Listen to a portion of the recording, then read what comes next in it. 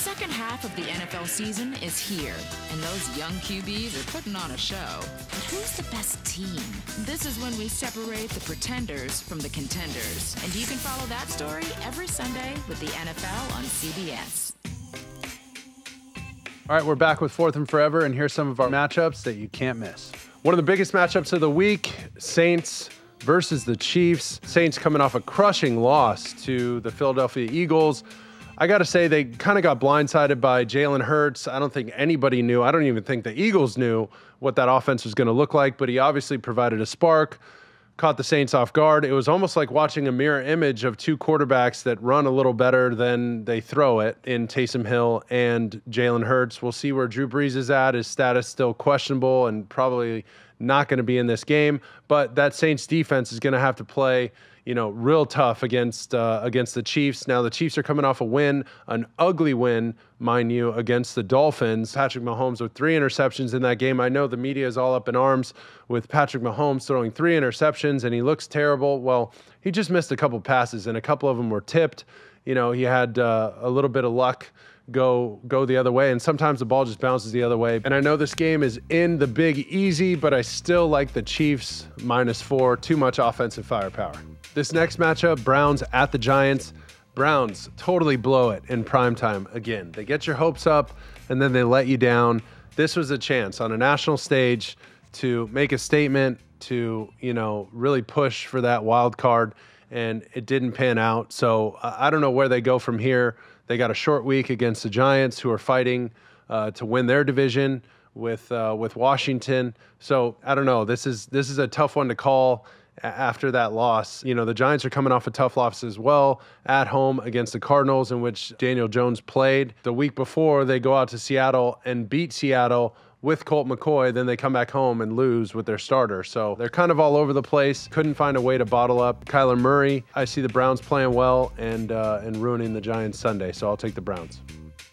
Another big game this weekend. The Seahawks traveling to DC to take on the Washington football team. Washington coming off of a big win, an emotional win against, well, formerly the San Francisco 49ers, now the Arizona 49ers. Dwayne Haskins had to go in for an injured Alex Smith, who was experiencing soreness in his injured leg from a couple years ago.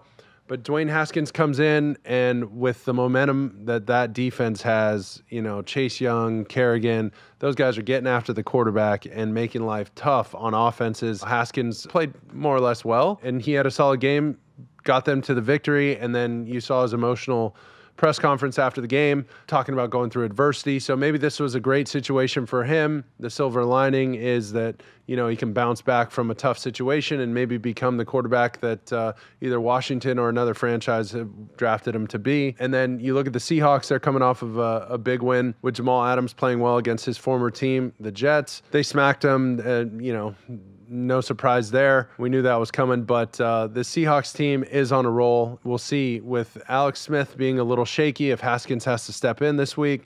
I don't know, just that that uh, uncertainty at the quarterback position doesn't bode well for them against the Seahawks team that's uh, that's all about momentum and, and knows how to play well on the road, especially on the East Coast. So uh, I'll take the Seahawks in this one with the spread.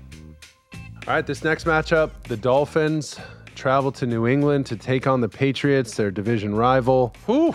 Big AFC East matchup. This one, essentially for the Dolphins, kind of for all the marbles. This is going to help them in their uh, wild card hunt. Really, the Dolphins are favored in December in Foxborough. This is uh, it's got to be the first time in a long time that that's the case. Xavier Howard, what a stud he's been. I know they locked him up to a solid contract there in Miami but he's got nine picks this year. He's tied with Ed Reed for 21 interceptions in his first 53 games. You saw the one handed pick last week. Wow.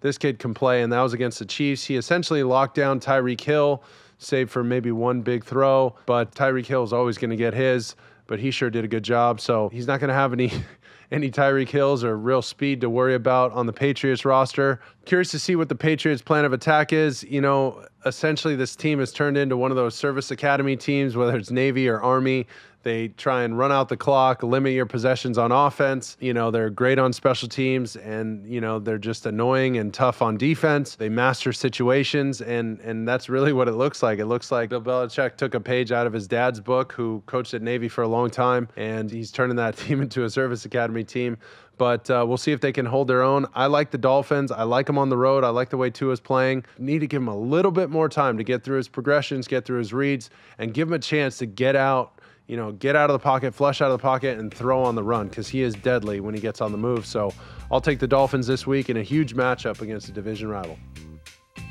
All right, this next matchup, the Arizona Cardinals and the Philadelphia Eagles, still in the hunt in the NFC least. Oh boy. Jalen Hurts steps in, beats the Saints gives that team a spark. You know, it looked like him and Taysom Hill are very similar skill set wise. They run a little better than they throw it. I don't know. I kind of like it. I, I, think they're the Eagles in general. That franchise is in a world of hurt next year because they owe Carson Wentz 25 million bucks regardless. But I feel like right now they just got to handle what's in front of them, and that's the Arizona Cardinals. Let Jalen Hurts play, let him run around, let him make some timely completions, and bank on that defense, providing you a little spark. They got to be sharp on special teams. The Cardinals are favored by five and a half.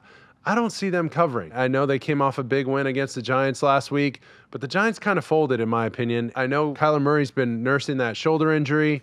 It looks like he's feeling a little better, but uh, he still doesn't look quite 100%. So I'm going to take the Eagles in this one. I don't know if they win, but I, I sure don't think the, the Cardinals cover.